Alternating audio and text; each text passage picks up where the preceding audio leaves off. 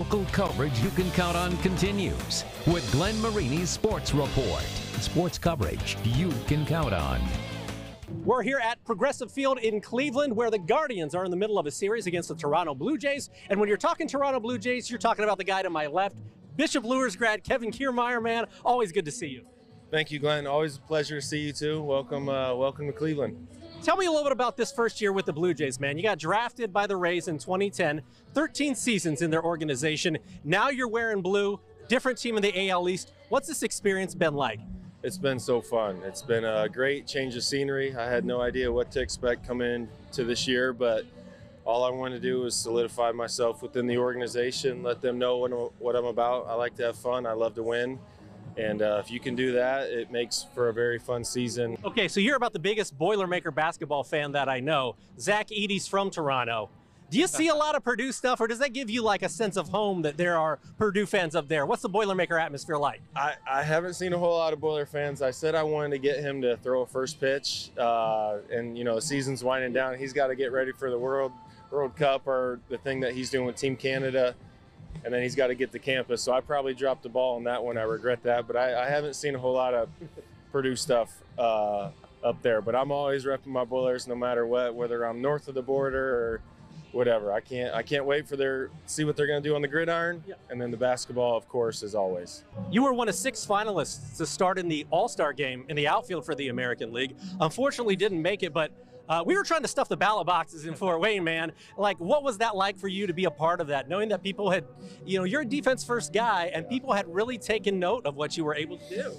Yeah, it was uh, it was definitely different to be a part of, and, and I was I was happy about it. Certainly, I, the, you know, the fan vote definitely helped. I, I thought you know there was certainly uh, other guys with much better numbers, but even coming up short, uh, it didn't it didn't bother me because I went I went to Snow Lake up at my up in Angola, had four days to relax up there, and it, and it was perfect All Star break for me and my family, and uh, you know up at the lake at my happy place. So it worked out perfectly.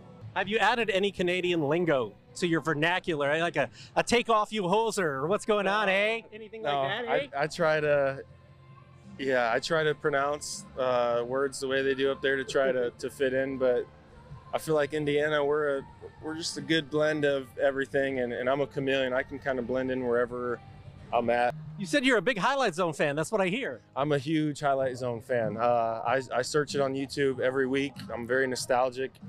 I've always loved it ever since, even before I got to high school. Watched it after our games in high school, and, and every year since, I'm always watching, always repping. And I promise, I've seen every every highlight zone clip from the last 10 years. I guarantee it.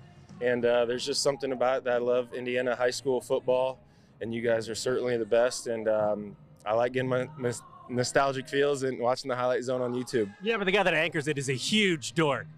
Yeah, they got a couple of those. No. yeah, he's not quite that handsome either, is what I hear. What no, I, I, love it. I'm, I'm loyal. You've been loyal to me. Uh, I stay loyal to you guys, and, and I, I, I'm always watching. So it's fun. You said you open up next Friday. I'll be I'll be plugging in next Saturday morning, watching the full show, getting my week roundup on uh, the high school football. All right. Well, we'll make it good for you, man. I appreciate right, it. Thank you. Kevin Kiermaier, I'm Glenn Marini, and we're back after this.